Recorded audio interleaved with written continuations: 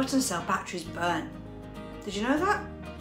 Well, the damage is noticeable within just 20 minutes, and if a person does not receive immediate medical help, they may die. So let's have a look at what would happen if one was swallowed. Should we get a bit of ham that's going to represent our tissues and go put a bit of saliva on the battery to mimic the fact that I've swallowed it and I've enclosed it with cling film so it's like enclosed in the body.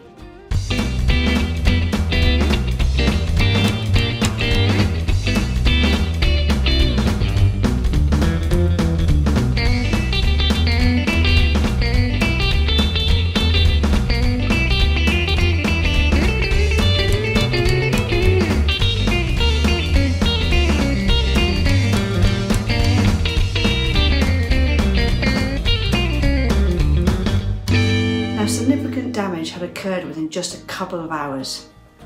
So please protect your children, please protect your pets. Prevention is key. Always, always check that the battery compartments on electronic gadgets are securely fastened.